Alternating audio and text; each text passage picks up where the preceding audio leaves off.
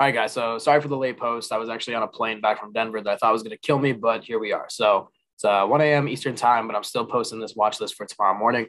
Um, so let's get right into it so I don't waste any time. So Square, uh, I'm looking. This is going to be my first one of the four that I have this week. I usually want to do three, but four for this week that I really like. So I want to put Square on here because I think it has some room to go. Uh, had a great earnings release and it might be slowing down a little bit here, but I'm looking at the put level here at this 272.50. On the other side, I think Square has some bullish sentiment right now with Coinbase having their earnings. So they're kind of related to cryptocurrencies as well.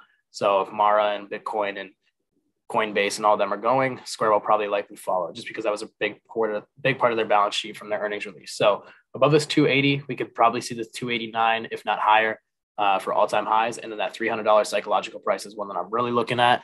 Um, so the breakdown, I'll, I'll stay away from this or maybe take some puts around 272 or 273 because it can hit this 265, 50 pretty fast. So below 273, we'll hit with 265 for puts.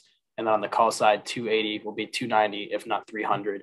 Um, so that's it. That's my lookout for Square this week. Uh, a lot of volume here starting to die out. So be careful. This one put side might be better if the market is bearish.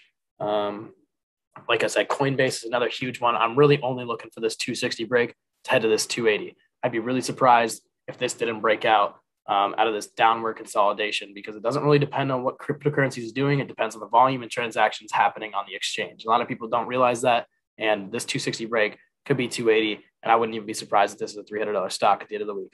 There's a lot to go for this one. I bet you they report great earnings. Um, so keep this one high on watch. Above 260 could ride to 280. So big payer in play there, in my opinion. Disney is another one earnings this week. Um, not too much on this one. I don't really like this chart setup at all, but I do like um, some of their web traffic views for their Disney Plus streaming service. I know a lot of people are saying this is getting beat up because of the parks and the Delta variant, things are closing down. So in that case, if it breaks below this 176.60 on the earnings week, I'm away from it. Uh, I won't take puts just because it doesn't really show me anything, but above this 179 to 180 price, um, and especially if we can break this 180, 130, 180, 150, we could easily see this 186. It's really in a downward a downward trend for a while now. So it's not really picking up a lot of steam here, but their Disney streaming, uh, Disney Plus streaming service is up almost 19% just this month. And with the Delta variant, that's actually helping. It's not really all about all the parks and closings and reopenings. They have they have multiple streams of revenue coming in. So this one could be a nice gap up for earnings. So just keep this one on watch. And then the last one I want to show you is Trade Desk. They actually do it tomorrow. Um, their earnings release is tomorrow. So watch for the gap up in the morning.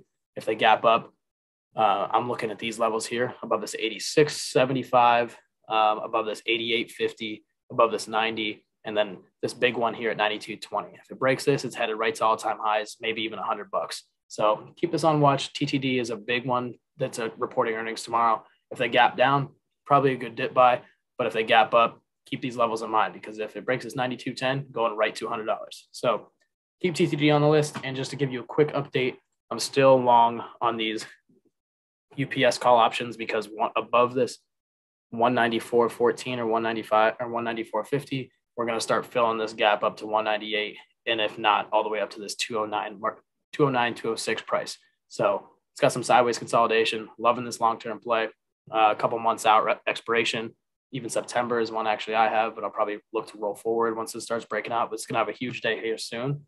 Um, in PayPal as well looks like it's starting to form a little bit of a bear flag here, but um, below, if it can stay above this 275 price, I, I would not be surprised to see us back at 288, 290, uh, if not back up to this $300 price. So those are my two UPS and PayPal updates. I like those a lot. And keep in mind the Coinbase, Square, TTD, and Disney levels for this week. So sorry about the late post again, but hope this helps you guys make some money this week.